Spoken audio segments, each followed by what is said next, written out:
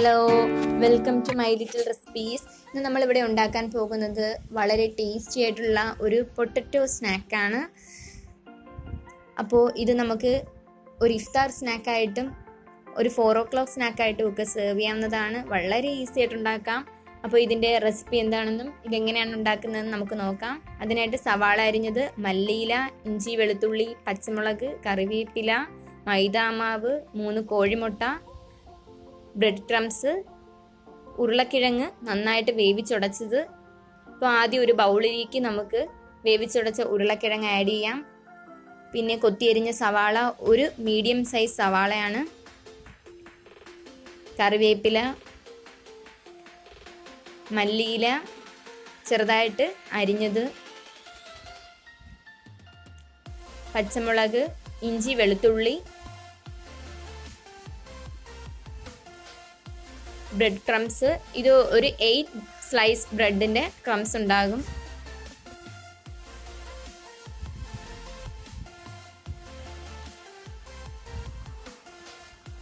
ഇതിലേക്ക് ഒരു കോഴിമുട്ട ആഡ് ചെയ്യാം.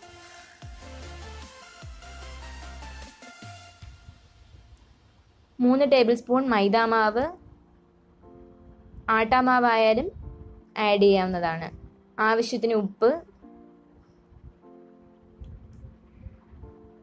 മുളക് പൊടി അര ടീസ്പൂൺ സ്പൂൺ ഗരം മസാല ഒരു ടീസ്പൂൺ കുരുമുളക് പൊടി അര ടീസ്പൂൺ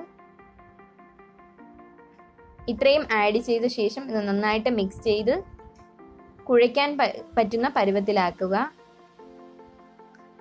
കുഴയ്ക്കാൻ ബുദ്ധിമുട്ടുണ്ടെങ്കിൽ ഓയിലൊക്കെ ആഡ് ചെയ്ത് ബ്രെഡ് ക്രംസും ആവശ്യത്തിന് ആഡ് ചെയ്ത് നമുക്ക് കുഴിച്ചെടുക്കാവുന്നതാണ്. ഇതെല്ലാം ഇപ്പോൾ ഞാൻ കുഴച്ച് നന്നായിട്ട് ശരിയാക്കി എടുത്തിട്ടുണ്ട്. ഇനി ഇതിൽ നിന്ന് കുറേശ്ശെ പോർഷൻ നമുക്ക് മാറ്റി വെക്കാം. ചെറുതായിട്ടൊന്ന് പരത്തി മാറ്റി വെക്കാം. ആദ്യമേ എല്ലാ പോർഷൻസും ഇതുപോലെ മാറ്റി വെക്കുകയാണെങ്കിൽ പിന്നെ നമുക്ക് ഇത് കോട്ട് ചെയ്തെടുക്കാനൊക്കെ എളുപ്പമായിരിക്കും.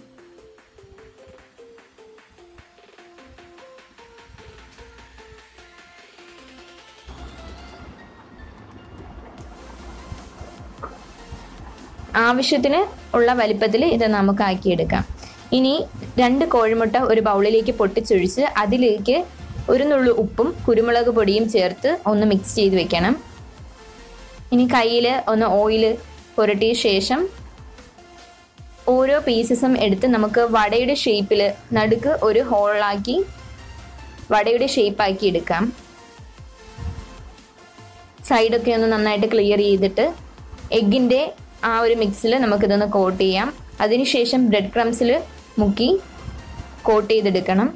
നമ്മൾ കട്ട്ലറ്റിനൊക്കെ ചെയ്യത്തില്ലേ അതുപോലെ.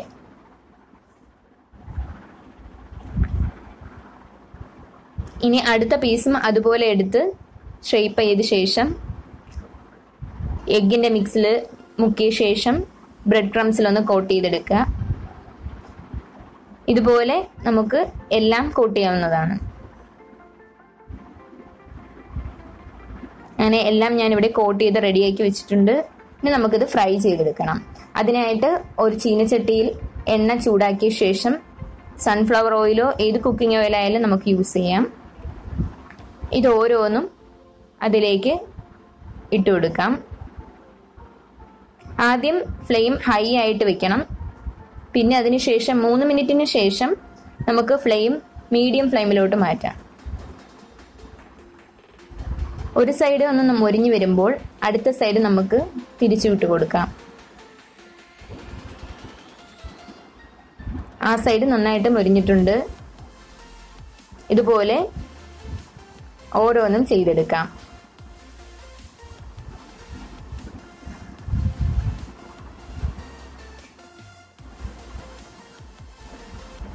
രണ്ട് സൈഡും നന്നായിട്ട് മൊരിഞ്ഞു വരുമ്പോൾ നമുക്ക് ഇതൊന്ന് എണ്ണ തൂത്ത് എടുക്കാം.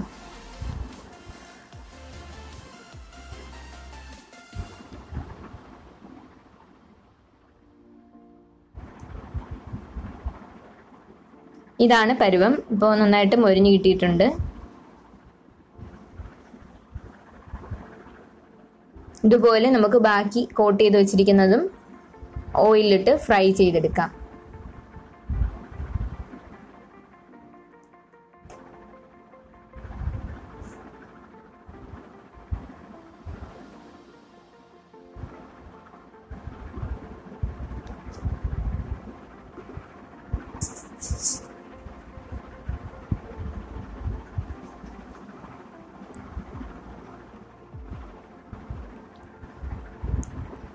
അപ്പോൾ എല്ലാം ഞാൻ ഇതുപോലെ ഫ്രൈ ചെയ്ത് റെഡിയാക്കി വെച്ചിട്ടുണ്ട്.